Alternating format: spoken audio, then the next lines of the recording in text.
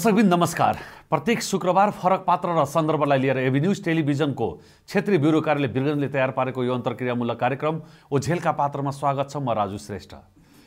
राजधानीमा मात्र होइन राजधानी बाहिर मोपसलमा बसेर राष्ट्रको जीवनमा महत्त्वपूर्ण योगदान पुर्याउँदै आएका तर विविध कारणले ओझेलमा परेका त्यस्ता पात्रहरूलाई हामी घर दैलोमा गएर खोज्नेछौँ र चिनाउनेछौँ अनि गर्नेछौँ अन्तरङ्ग कुराकानी।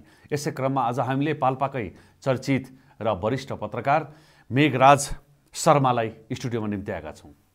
यहाँलाई कार्यक्रम ओझेलका पात्रमा स्वागत छ। धन्यवाद। अनि आजभोलि कसरी हुँदैछ पत्रकारिता? लेखनमै बितिरहेको छ। यो उमेरमा पनि।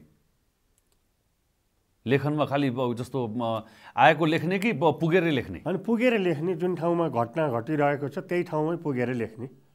छ है अहिले पनि जोस छ। अहिले पनि जोस छ। म कुनै युवक साथीहरूभन्दा चाहिँ नि कम छैन। युवक साथीहरूसित सँगसँगै गएर म लेखिरहेको हुन्छु। जस्तो छब्बिस सालमा यहाँले पत्रकारिता सुरु गर्नुभयो। हजुर। कस्तो थियो त्यति बेलाको अवस्था? त्यति बेलाको अवस्था चाहिँ नि पत्रकार गोर्खापत्र र राजशासका प्रतिनिधिले बेगर अरूले चाहिँ नि आफूलाई पत्रकार भनेर भन्दैन थियो समाजले पनि उनीहरूलाई बेगर अरूलाई चाहिँ पत्रकार मान्दैन थियो। त्यसकारण त्यो बेलाको स्थिति र अहिलेको स्थिति हेर्दाखेरि त हामीलाई कथा जस्तो लाग्छ। अनि फेरि किन पत्रकार त? कस्तो किन पत्रकार होइन जब त्यत्रो न समाजले राम्रो दृष्टिकोण न समाज परिवर्तन। गर्नको निम्ति त दुःख कष्ट त गर्नै पर्छ नि समाज परिवर्तनको लागि। समाज परिवर्तनको निम्ति हो निरु निरङ्कुश शासन थियो त्यो शासनका विरुद्ध जनतामा चेतना फैलाउनको निम्ति चाहिँ नि पत्रकारिता गरेका थियौँ हामीले। होइन त्यो पत्रकारिता गर्ने क्रममा फेरि यहाँले आफ्नो एउटा कुनै पत्रिका पनि निकाल्नु भएको थियो। अहिले मैले होइन त्यो बेलामा जस्तो आवाज सामायिक आवाज सामयिक सङ्कलन चाहिँ नि त्यति बेला चाहिँ नि निकालेका थिएँ दुई हजार कति एकतिस कति वर्ष चल्यो? चलेन एकै अङ्कमा चाहिँ नि बन्द भयो त्यो।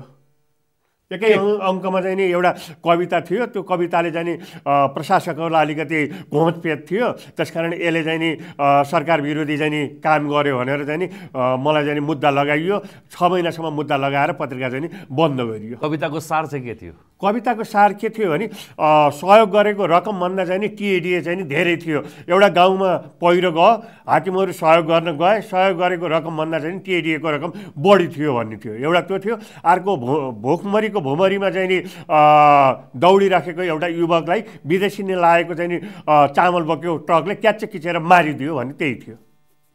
त्यतिले बन्दै गर्नु। त्यति त्यतिले चाहिँ नि सिडिओले चाहिँ नि बोलायो तपाईँले यस्ता कुराहरू चाहिँ नि लेख्न मिल्छ। यो त भएन नि। ल तपाईँ यो पत्रिका चाहिँ नि अब चलाउन पाउनुहुन्न भनेर भन्नुभयो र उहाँले मलाई तारिक दिनुभयो।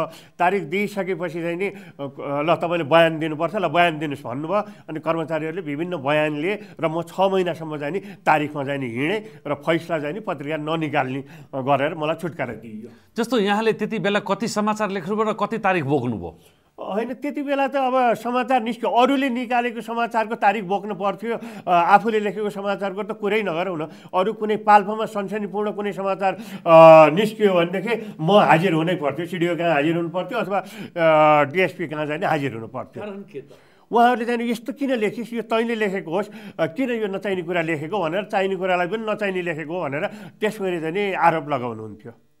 गाह्रो थियो त्यति बेला। त्यति बेलाको प अहिलेको पत्रकारिता र त्यति बेलाको पत्रकारिता भनेको त एउटा अचम्म लाग्छ। मलाई चाहिँ अचम्म लाग्छ किनभने मैले त्यो पिरियड पनि भोगेँ र यो पिरियड पनि भोगिराखेको छु। जबकि यहाँले साप्ताहिकमै बढी लेख्नुहुन्थ्यो। हजुर साप्ताहिकमै लेख्थेँ मैले। किन त्यति बेला जस्तो यहाँले भने जस्तो त्यति बेला एउटा साप्ताहिकमा समाचार पठाउँदाखेरि दस दिनमा गएर छापिन्थ्यो। हो? हो। त्यही पनि त्यति बेला एउटा समाचारको प्रभाव अर्कै कारण अर्कै किसिमको होइन त्यति बेला सत्य तथ्य कुरा हुन्थ्यो त्यो राजनीति मुखी चाहिँ नि पत्रकारिता चाहिँ नि हुँदैन थियो। सत्य तथ्यमा आधारित हुन्थ्यो त्यसरी त्यति बेला चाहिँ नि बढी महत्त्व चाहिँ नि हुन्थ्यो। अनि जस्तो यहाँको जस्तो राज्य र समाजको हेर्दै दृष्टिकोण त फरक थियो भनेर भन्नुभयो। परिवारको के थियो? अनि परिवारले पनि यस्तो नचाहिने काममा के लागिराखेको होला? कोही आफ्नो काम नगरेर घर चाहिँ नि पुलिस बोलाउन आउने अनि आयो अब लिएर जान्छ भनेर भन्ने त्यस कारण घर परिवारले पनि यस कुरामा चाहिँ यो छोड्नुपर्छ भनेर सबैले दबाब दिनुहुन्थ्यो। माने पुलिस आयो कि त लौ लिएर जाने। लिएर जानु लायो भने अनि लैजान्थ्यो ल तपाईँलाई डिएस साहबले बोलाउनु भएको छ तपाईँलाई सिडिओ साहबले बोलाउनु भएको छ भनेर लिएर जाने हुन्थ्यो अनि घर परिवार चाहिँ वाक्क हुन्थ्यो तपाईँको पछि त उनीहरू पनि बानी नै भयो होला। ल ल भयो यो लैजान्छ राख्दैन छोड्छ के अरे भन्ने चाहिँ नि भयो। उनीहरूले मुख्य कुरो चाहिँ के भन्थे त्यति बेला? तपाईँ यस्तो किन लेख्नुहुन्छ? यो नचाहिने कुरा भयो भनेर उहाँहरूलाई अलिकति सरकारका गतिविधिहरूको चाहिँ नि गलत क्रियाकलाप चाहिँ नि उनीहरूलाई चाहिँ चित्त बुझ्दैन थियो। प्रशंसाका पुल बाँधियो भनेदेखि फेरि उनीहरू खुसी हुन्थे। प्रशंसा चाहियो। उनीहरूलाई प्रशंसा चाहियो राम्रो भएछ भन्नु सत्ताको पर्यो। न्युज चाहियो समाजको होइन। समाजको समाचार चाहिएन समाचार चाहिएन। उनीहरूलाई चाहिँ नि प्रशंसाको पुल चाहिँ नि बाँधिदिए भने उनीहरू पनि खुसी हुन्थ्यो अब त्यस्तो गर्नुभन्दा पत्रकारिता नगर्नु नै ठिक चाहिँ नि मैले मान्थेँ। अब त्यस्तो गर्नुको निम्ति त त्यो बेला राष्ट्र थिँदै थिए गोर्खा पत्रका प्रतिनिधि थिँदै थिए त्यस कारण हामीले गर्नुपर्ने त्यति बेलाका राजशासक र गोर्खापत्र चाहिँ उनीहरूका उनीहरू जे चाहन्छ सरकार जे चाहन्छ सरकारको इसारा अनुसार सरकारको चाहना अनुसार उनीहरू समाचार तयार गर्थे। अनि जस्तो यहाँले कुराकानीको क्रममा भन्नुभयो नि पाँच झर्ला भनेर ठुलो चिन्ता हुन्थ्यो। अनि त्यति बेला के हुन्थ्यो भनेदेखि त्यो सिसाका अक्षरहरू चाहिँ जोडेर तपाईँको समाचार तयार गरिन्थ्यो। अनि तयार गरिसकेपछि त्यसलाई गएर ठटाउनु पर्थ्यो। ठटाउँदाखेरि पाँच झऱ्यो भनेदेखि त तपाईँको राजकाज अपराधको मुद्दा लाग्थ्यो। त्यस कारण सबभन्दा पिर के हुन्थ्यो भनेदेखि पाँच झर्या छ कि ठिक हालतमा छ भनेर पहिला गइसकेपछि त्यो प्रेसको चाहिँ कम्पोजिटरलाई चाहिँ बोलाएर खै त्यो लिएर आऊ त प्रुफ लिएर आऊ भनेपछि जहाँ पाँच छ त्यहाँ हेरिसकेपछि अरू बरु हेर्दै गरौँला भनेर चाहिँ नि हेर्ने गरिन्थ्यो। कतिचोटि झऱ्यो पाँच अनि फेरि संयोग अरू पनि झर्थ्यो होला। अब अरूमा कारवाही नहुने केही नहुने भएकोले केही हुँदैन थियो। पाँच झऱ्यो भने त कारवाही हुने। त्यस कारण त्यसमा बढी सतर्क चाहिँ नि हुनु पर्थ्यो र घर आइसकेपछि पनि पाँच झर्या छ कि झर्या छैन होला भनेर चाहिँ नि सम्झिरहनु पर्थ्यो। र भोलि बिहानै गएर खै ल्याउ त भनेर मागेर चाहिँ नि हेर्नु पर्थ्यो। झर्थ्यो कि झर्थेन कहिले पनि? झर्थ्यो किन नझर्ने? झर्थ्यो अनि फेरि त्यो बिगारेर लो राख भनेर भन्नु पर्थ्यो। झरेको चाहिँ सम- समाचार प्रकाशित भएन। होइन झरेपछि फेरि हालेर समाचार बनाइन्थ्यो। ए माने बाहिर आउँदाखेरि चाहिँ हालेर बनाएर आउँथ्यो। त्यो नबनाइकन त आउनै हुन्न थियो। त्यसो भयो भने त गइयो दुई वर्ष र तिन वर्ष दुई हजार र तिन वर्षमा त गइयो नि तपाईँको राजकाज गाह्रो थियो है? साह्रै गाह्रो थियो। साह्रो पनि थियो गाह्रो पनि थियो। गाह्रो साह्रो सबै कुरा थियो। अहिलेलाई पालो भएको छ विश्रामको हामीसँगै रहनु होला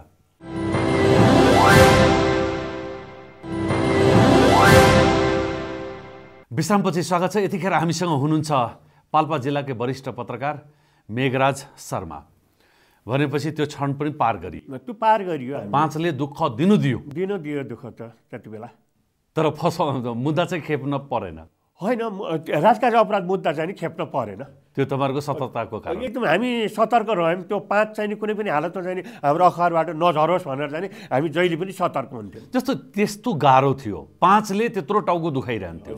त्यसमाथि फेरि नलेखेको के भन्छ समाचारमा पनि मुद्दा मुद्दा तारिक चाहिँ धाउनु पर्थ्यो। एउटा सामान्य कविता लेखेको भरमा पत्रिकै बन्द भयो। बन्द भयो। त्यसको बावजुद फेरि यहाँले त्यही पञ्चायत कालमै फेरि आफ्नो एउटा पत्रिका पनि दर्ता गराउनु भयो हजुर। यो पत्रिकाको नाम चाहिँ मलाई लाग्छ गा- गाउँले देउराली हो। गाउँले देउराली साप्ताहिक मैले भन्दा पनि एमा विनय कुमार कसजो म यो ग्रामीण विकास पाल्पाले चाहिँ प्रकाशन चाहिँ नि गरेको। विनय कुमार कसजो म र केही साथीहरू भएर चाहिँ हामीले चाहिँ नि दर्ता गरायौँ अनि त्यसलाई साहस भने कि दुस्साहस भने?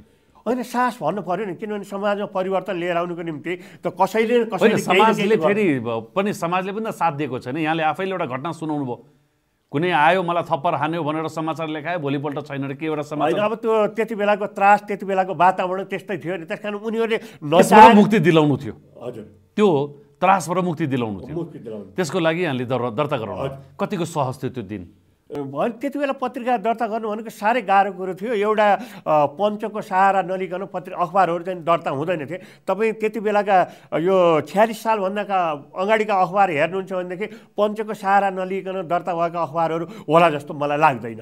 जस्तो त्यति बेलाको पत्रिकामा एकातिर कुनामा त्यति बेलाका राजा महाराजाको फोन फोटोहरू त अनिवार्य राख्नै पर्थ्यो। राख्नै पर्थ्यो नराखिकन त्यो राखेर पनि समाज परिवर्तन गर्ने खेल चाहिँ खेल्नु खेल्नै पर्थ्यो। अब एउटा एउटा बाहना नगरिकन त हुँदै हुँदैन थियो अनि त्यो जस्तो यहाँ यहाँले आफ्नै मुखले बोल्नुभएको कुरो यदि मैले सापट्टै लिएर भन्ने हो भने गोर्खापत्र र राष्ट्रसभा बाहेक अन्य पत्रिका पत्रिकै थिएन राज्यको लागि। अनि त्यो। बेलामा चाहिँ तपाईँहरूको यो पत्रिका सञ्चालन गर्ने र यसको बाँच्ने आधार के?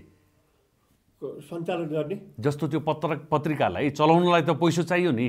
होइन हामी त्यति बेला त उसको संवाददाताको रूपमा चाहिँ काम गरेका थियौँ। हामीले अखबार चाहिँ के समाचार पठाउँथ्यौँ। उहाँबाट प्रकाशित भएर आएर वितरण हुन्थ्यो। हामीले केही गर्नु पर्दैन थियो। हामीले त खालि समाचार पठाउने होइन यो कविता देउराली त यहाँहरूको आफ्नै हो नि। गाउँले देउराली त्यति हुँदाखेरि त त्यो पञ्चायतकाल पछि हो यो त।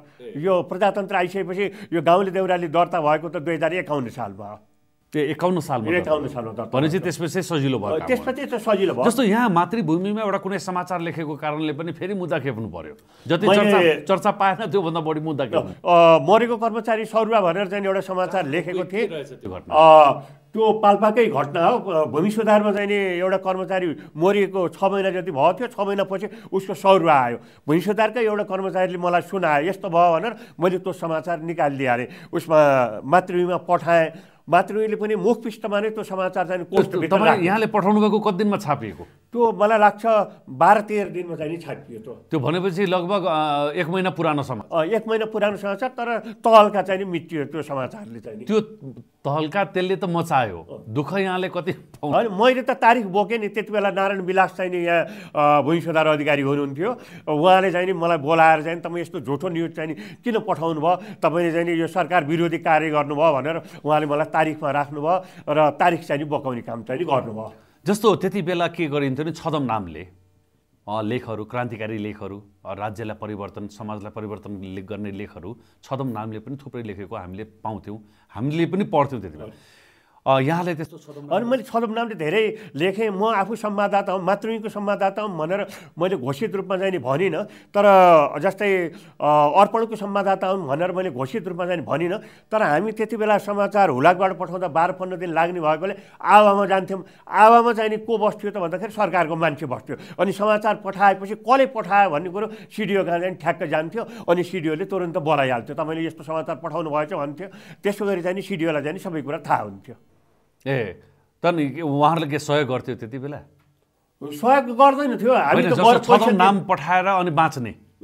आफूलाई। जस्तो यहाँले राखेको छदम नामहरू के के थिए? मैले राखेको सके सर्वनाम त अकेला भनेर चाहिँ नि निस्कन्थ्यो प्रायः जस्तो गरेर।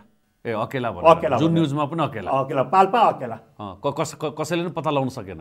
त्यस्तो चाहिँ नि पत्ता लगाएन यसले हो भन्ने कुरा पत्ता लगाएन पछि पछि चाहिँ नि त पत्ता लाग्न थाल्यो। यो आवाबाट चाहिँ नि लिक भयो यो कुरा। त्यसपछिको कुनै कारवाहीहरू? त्यसपछिको कारवाही भयो। मैले त यहाँलाई भने नि मैले पठाउँदैन पठाएको समाचारको निम्ति पनि म गएर चाहिँ नि तारिख बोकिराखेको छु। सैँतालिस वर्ष भयो। सडचालिस वर्ष भयो। यहाँको पत्रकारिता गर्दै आइरहनुभएको हिजोको र आजकोमा के छ फरक? अनि धेरै फरक छ। अब हिजो के थियो भनेदेखि पत्रकार बन्नको निम्ति र पत्रिका चलाउनको निम्ति साह्रै कठिन थियो दर्ता गर्नको निम्ति कठिन थियो।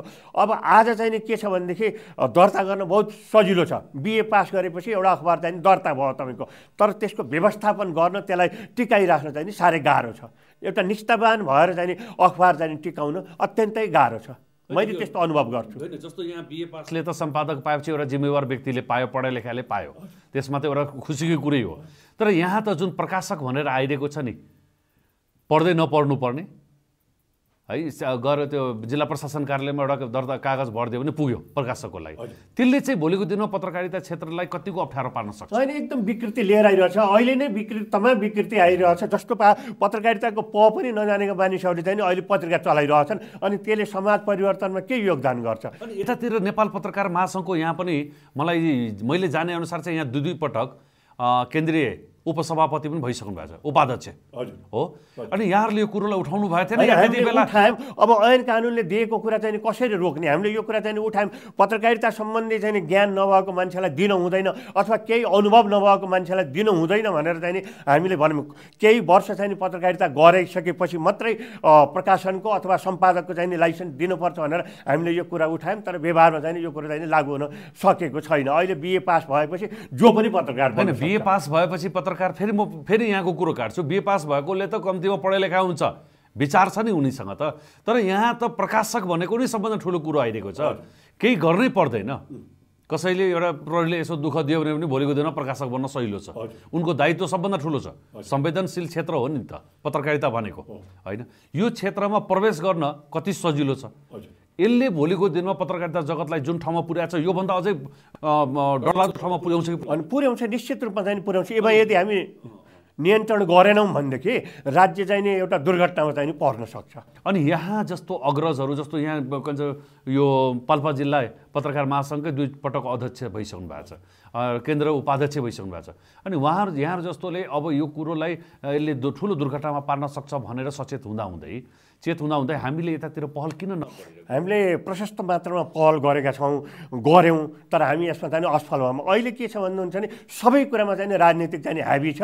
अहिले गएर चाहिँ नि जसले कुनै राजनीतिक व्यक्तिलाई चाहिँ नि समातेर ल यो दर्ता गरिदिनु पर्यो भनेपछि जस्तोसुकै मान्छेलाई होस् त्यो दर्ता चाहिँ नि पाइहाल्छ। भनेपछि पहिला पञ्चको सहयोग गर्नु लिनुपर्ने। नेता। सहयोग लिएपछि भयो। नेताको तपाईँको फेरो समातेर चाहिँ नि पत्रकारिता गर्नेहरू प्रशस्त मात्रामा छन् र अहिले पत्रकारितामा चाहिँ हदभन्दा बढी चाहिँ नि राजनीति भएको छ। हामी चाहिँ नि भन्छौँ स्वतन्त्र निष्पक्ष हुने भनेर भनेका छौँ। अब पत्रिकामा स्वतन्त्र निष्पक्ष भनेर भनेको हुन्छ कतै सूर्यको फोटो राखिएको हुन्छ कतै चाहिँ नि रुखको फोटो राखेर स्वतन्त्र निष्पक्ष भन्ने पत्रकारिता चलिरहेको छ अहिले। अहिलेलाई पालो भएको छ विश्रामको हामीसँगै रहनु